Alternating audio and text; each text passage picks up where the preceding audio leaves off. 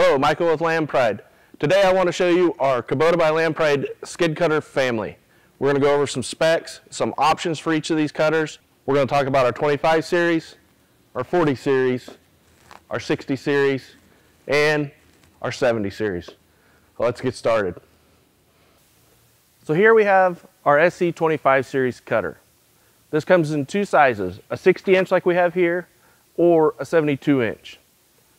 On both units, you have the optional gauge wheel to help set that cut height. You have standard chain guards on the front and back. The rear has double chain guards.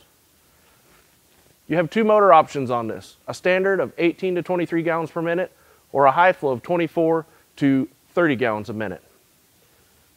You have a floating hitch here to help go over the contour of the ground. You also have an optional pressure gauge to make sure you're in optimal pressure range when cutting. You have two skid shoe options, the standard like we have here, or you can get a heavy duty option. This unit comes with just a standard dish pan with two blades for that two inch cut capacity. Now let's take a look at that 40 series cutter. Here we have our SC40 series. You have the option of two sizes, a 60 or a 72 like we have here. You have standard chain guards on the front and rear. You also have standard skid shoes on the sides. You have two motor options, a 15 to 26 gallons per minute or a high flow of 27 to 43 gallons per minute. You have a 5 8 three blade blade carrier on this for that four inch cut capacity. You have optional uh, pressure gauge. That way the operator knows they're in the optimal pressure range when running. You also have an optional case drain, which we recommend so that if you stall the unit, it helps relieve the pressure out of the motor. Now let's take a look at our 60 series. So here we have our SC60. Comes in one size, of 72 inch. It's designed for the SSV 75 and the SVL 75. You have standard chain guards front and rear.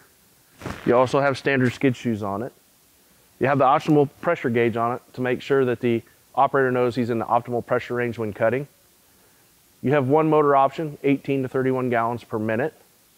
There is a three quarter inch blade carrier on this. You have a bifold door to help open up so you can get that six inch cut capacity on the tree. Then you have carbide teeth on the blade carrier to help mulch up those stumps. You also have a push bar here to help push the trees over. Now let's look at our 70 series. So here we have the SC70 series. It's a 72 inch width. This unit is made particularly for the SVL 97, the bigger skid steer. You have front and rear chain guards as standard.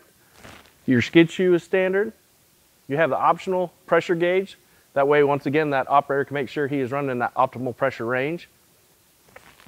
You're gonna have one motor option of 28 to 43 gallons per minute. We have our bifold door here to help push up to make sure that you get to that seven inch cut capacity.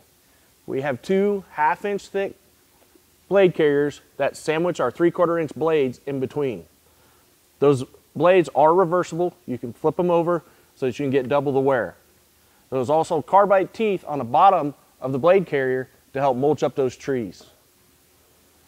Once again, we have our push bar here to help push those trees over. Thanks for joining us today.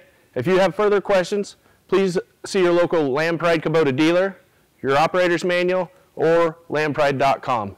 And don't forget to like and subscribe.